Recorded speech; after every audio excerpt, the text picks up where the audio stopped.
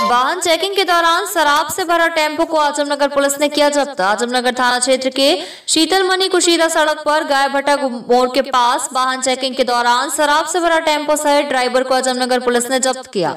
इस संबंध में एसआई दिलीप कुमार चौबे ने बताया कि होली पर्व को लेकर शराब तस्करी के लिए ले जाया रहा था, जिसे वाहन चेकिंग के दौरान बंगाल के कुशीदा से जल की ओर जा रही टेंपो को गयखट्टा मोड़ के निकट जाँच किया गया, जिसमें 30 बोतल हिमालयन गोल्ड, बंगाल निर्मित शराब सहित टेंपो को जब्त किया गया। वहीं टेंपो चालक आबादपुर थाना क्षेत्र के हाट बंगरा गाँव निवासी मोहम्मद दानिश के 30 वर्षीय पुत्र मोहम्मद शाबिरुल आलम को गिरफ़्तार कर कागज़ी प्रक्रिया पूर्ण करते हुए नियक हिरासत कटिहार भेज दिया गया।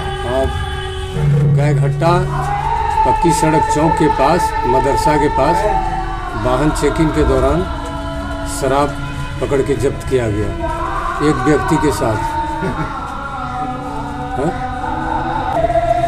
हाँ, एक टेंपू वाहन सहित एक व्यक्ति और शराब जब्त किया गया।